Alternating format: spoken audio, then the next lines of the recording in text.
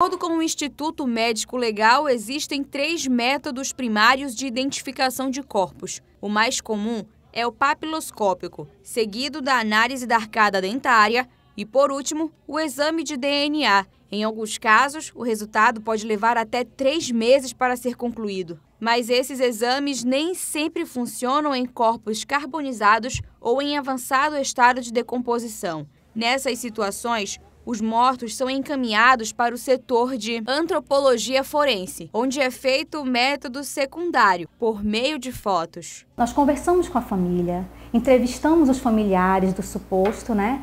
E aí solicitamos radiografias e, e algum exame. Se ele não tiver nada, aí nós solicitamos o quê? Fotografias. Quando você sorri com um sorriso bem largo, que apareça os dentes, né? Nós conseguimos utilizar e fazer a, a análise, né? A especialista explica que com as fotos é feita uma análise da arcada dentária do esqueleto.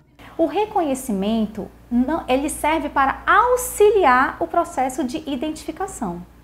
Então, o que acontece muitas vezes? O cadáver chega até o ML. Aí a família diz: viu lá a pessoa e falou: esse aqui é meu filho é meu parente. E realmente, ele ele está é, fisionomicamente reconhecível.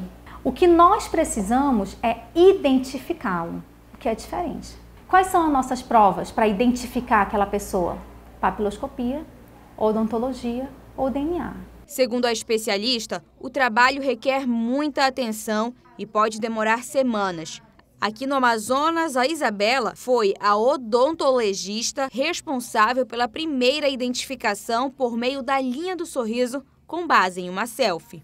Então aqui nós conseguimos delimitar as bordas superiores, tanto em, é, é, em vida quanto morte, dos, e dos inferiores. E aqui fazendo a comparação, de você também observa ó, um desenho perfeito, tá? Então isso aqui subsidia o nosso, nosso laudo. Acrescenta informação junto com as características individuais de cada dente.